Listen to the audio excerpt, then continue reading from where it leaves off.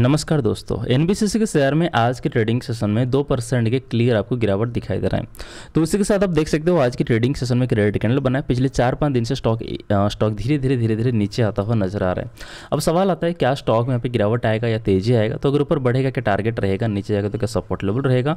सभी कंडीशन को इस वीडियो में क्लियरली समझने वाले हैं। तो इस वीडियो को कंप्लीटली ज़रूर देखिए।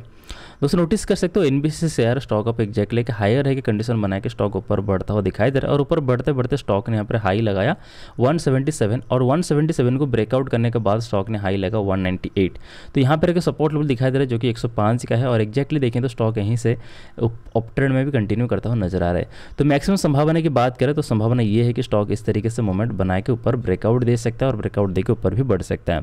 तो काफ़ी लोगों ने यहाँ पे जो है फंस गए क्योंकि ये काफ़ी समय से यहाँ पर रेंज भी बना रहे इसलिए यहाँ पे जिन लोगों ने भी एंट्री लिया उनका अभी क्या है, किसी को लॉस दिखा रहा है और किसी को थोड़ा सा प्रॉफिट दिखा रहा है, लेकिन ओवरऑल देखेंगे तो स्टॉक अभी सपोर्ट लाइन के पास में है और इसी सपोर्ट लाइन के पास में यहाँ पे इस तरीके से रेंज बना रहा है। कभी थोड़ा प्रॉफिट होता है कभी थोड़ा लॉस होता है इस तरीके से चलता हुआ दिखाई दे रहा है। लेकिन अगर ओवरऑली बात करें तो आपका सपोर्ट लेवल रहेगा यहाँ पे एक के पास में ठीक है? क्योंकि आ, क्योंकि ये यहाँ पे इंपॉर्टेंट सपोर्ट लेवल होने वाला है। अगर इसको ब्रेक डाउन करेगा तो गिरावट आ सकता है। अदरवाइज़ स्टॉक यहाँ पे ब्रेकआउट करने की संभावना बिल्कुल हाई है। क्योंकि स्टॉक्स अप ट्रेंड में है और अपना प्रीवियस का रेजिस्टेंस को ब्रेकआउट भी किया है, ठीक है?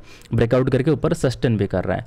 तो अगर हम टारगेट की बात करें कि ऊपर के साइड में हमारे लिए हमारे लिए क्या क्या टारगेट यहाँ पर इंपॉर्टेंट होने वाला है तो पहला टारगेट दोस्तों आपके सामने रहेगा दो सौ में रहेगा एंड दूसरा टारगेट आपके सामने रहेगा टू एंड तीसरा टारगेट आपके सामने रहेगा टू चौथा टारगेट रहेगा तीन सौ अठारह।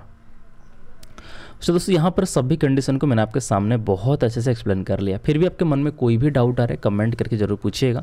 एक वीडियो करके लाइक करें चैनल को सब्सक्राइब करें। आपकी छोटी सी लाइक मुझे इंकरेज करती है और भी अच्छे से स्टॉक को सिलेक्ट करके आपके सामने वीडियो प्रेजेंट करने के लिए।